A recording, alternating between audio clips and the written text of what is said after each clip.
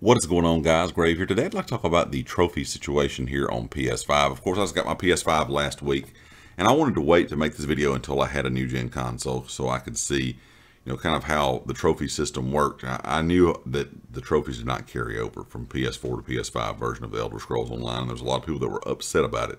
But like I said, I wanted to have a new gen console in hand first before I made this video. And now I'm going to go ahead and tell you I don't I'm not a person that really worries about trophies. Um, I prefer my in-game achievements. Now, if ZOS would have reset all the in-game achievements, so everything you've done in-game, all your titles and things would have been reset when you went from old gen to new gen, I would have had an issue with that. But I do understand that some people have issues with the uh, trophies being reset. I'm not sure why this is the way it is. I'm not sure if it's on ZOS's end. I'm not sure if it's on Sony's end. I'm not sure if it's on both of them. Uh, I'm not quite sure how this works. We all know when it comes to game companies, it's not always just the company's fault. Sometimes it's the platform's fault when it comes to Xbox or PlayStation. Dealing with Microsoft and, and Sony and the things they have to add into the game sometimes uh, just does not work on both ends, you know, between the developers and the, you know, the platform designers. So it could have something to do with that. I'm not completely sure exactly what side is decided to do this, but I think ZOS really needs to look at this. If they can, uh, figure out a way to make it so everyone's trophies are still unlocked. I think they should. Because I can think of a lot of things in game that people are going to be kind of frustrated with. If you are a person that likes to show off your trophies, one being Emperor and Cyrodiil, which is not exactly an easy achievement, and then the Master Angler, which is a one that takes a lot of time. Now I know like doing zone quest, main story quest, all that stuff is going to be a time consuming thing as well. And if you play the game as long as I have, you have multiple characters, you're probably like me. I think most people are anyway.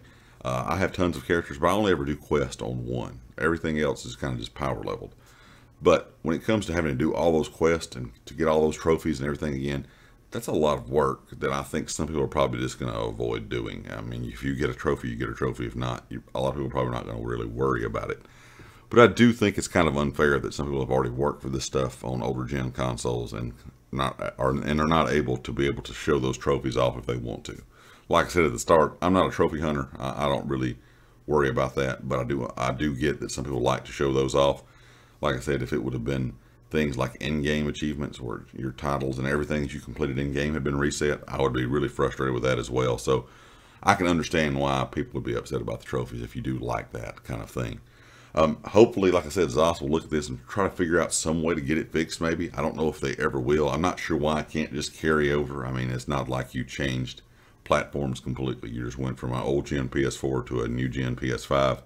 It's not like you went over to PC or Xbox. I can understand on that part, but when it comes to what is already on your account uh, from PlayStation to PlayStation, I'm not quite sure why these just didn't transfer over. Anyway, guys, leave me a comment with your thoughts. Of course, if you like the video, hit the like. If you hadn't subscribed yet, please do so.